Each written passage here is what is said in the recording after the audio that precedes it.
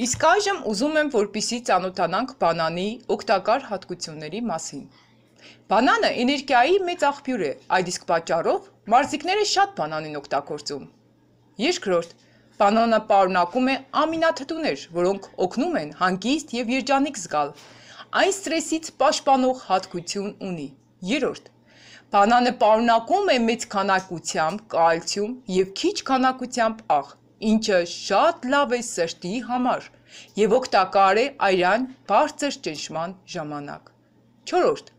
օրական մեկ բանան ուտելով հիշողությունը կպարելավվի։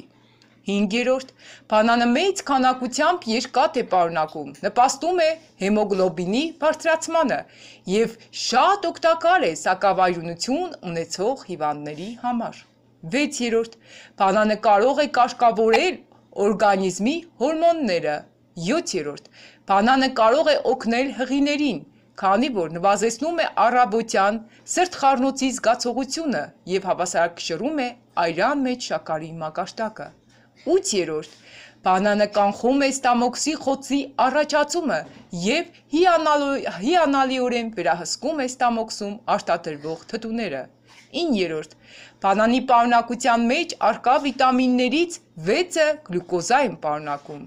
Եվ վերջինը 10. Առավոտյան մեկ բանանը կարող է կանխել փորկապությունը, քանի որ հարուստ է մանրաթելերով։